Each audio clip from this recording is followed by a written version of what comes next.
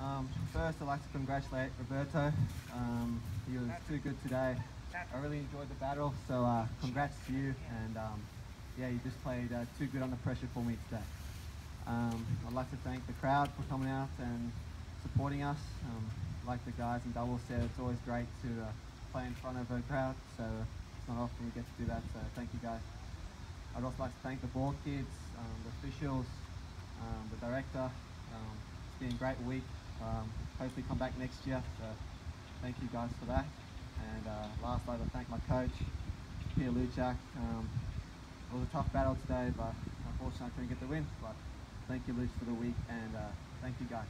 Appreciate it.